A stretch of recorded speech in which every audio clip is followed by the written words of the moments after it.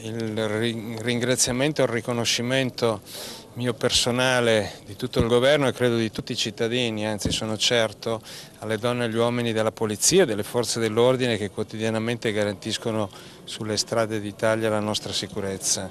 Un lavoro difficile, un lavoro che richiede impegno, dedizione, una missione vera e propria di cui siamo assolutamente riconoscenti e che svolgono nel modo migliore eh, e a livelli di eccellenza che ci sono riconosciuti da tutti i paesi europei e non solo.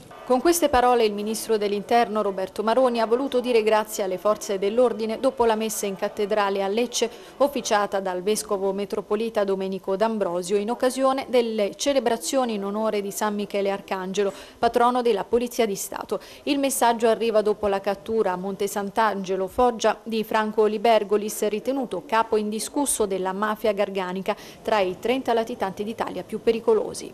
La cattura uh, di Libergolis latitante, super latitante e non è avvenuta a caso, siamo venuti qua un mese e mezzo fa e abbiamo costituito un gruppo specializzato per la cattura sua e ci siamo riusciti. Questo è il metodo.